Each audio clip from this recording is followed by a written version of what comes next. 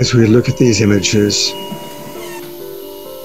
as we think about the extraordinary time in this world,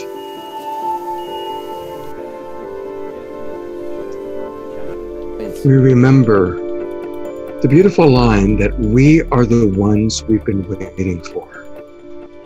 And this is the time we've been preparing for. Nobody knows for sure exactly what it truly means, how long it's going to last. But what we do know is we have each other.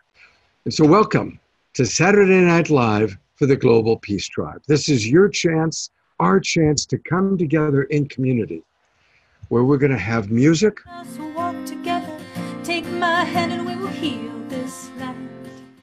Inspirational speakers.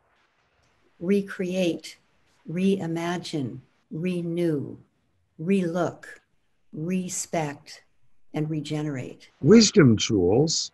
Let yourself become intolerant of apathy, intolerant of injustice. Let yourself become intolerant of ignorance. And even some comedy. With all of this light energy, not only will you be able to heal souls, but I bet you'll be able to resoul heals. And some magic. Are you ready? Here we go. Let's count to three. Everybody, here we go. One, two, three. Solved. Yes. Recognizing that the greatest magic is how we can all be together, no matter where we are geographically, sharing in the universal language of love and music. With all things I am one. With all things I am one. And learning from these extraordinary speakers coming into our show.